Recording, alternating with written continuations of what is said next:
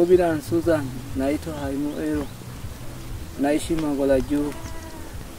Nashukuru kwa, kwa miradi yenu ya mbuzi kuifanikisha familia yangu. Asanteni sana.